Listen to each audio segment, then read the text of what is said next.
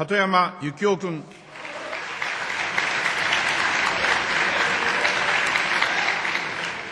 民主党の鳩山幸夫です。総理の所信表明演説に対し質問いたします。総理、あなたご自身が代表を務める関係政治団体の政治資金収支報告書、改ざんされていると報じられています。これは明確な政治資金規正法違反、公職選挙法違反ではありませんか。総理は特に自らを厳しく戒めると言われましたが、まずご自身の疑惑について国民にきちんと説明し、全容を明らかにしてください。疑惑を指摘された閣僚が資料を提示し、説明責任を果たすのは最低限の務めです。それができない閣僚は、自ら職を辞すか、罷免すべきことも当然であります。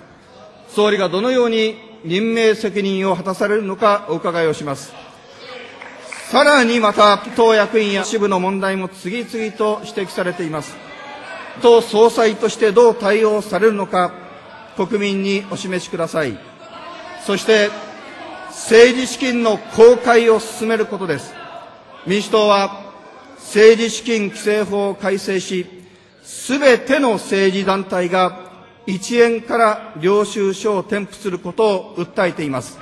総理、もっと指導力を発揮してください。野党との協議協議という前に、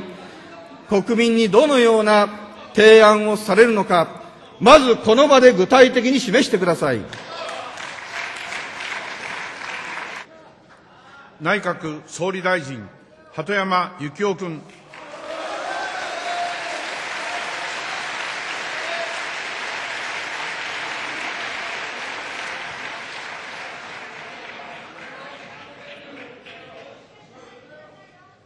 質問にお答えをいたします。献金問題の説明についてのご質問がございました。私はおっしゃる通り、クリーンな政治を政治家として今日まで求めてまいりました。それを原点としてまいったことも事実であります。個人献金の問題に関して、国民の皆様方に大変なご迷惑をおかけしたこと、心からお詫びを申し上げたいと思います。私自身も当事者の一人でございますので、調査を委託をして、解明されたことを発表を申し上げ、収支報告書を